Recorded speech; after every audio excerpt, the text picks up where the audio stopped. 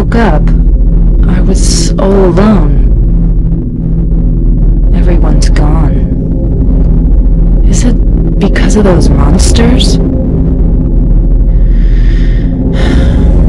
What do I do now?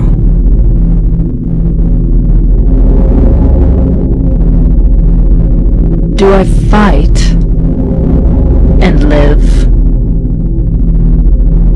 Or do those monsters get me? I don't have any reason to go on living.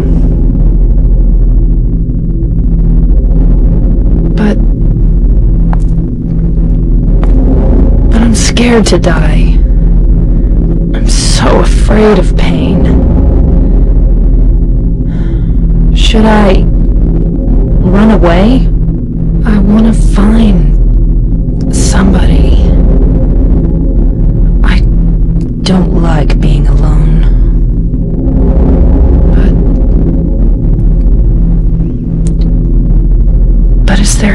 anyone left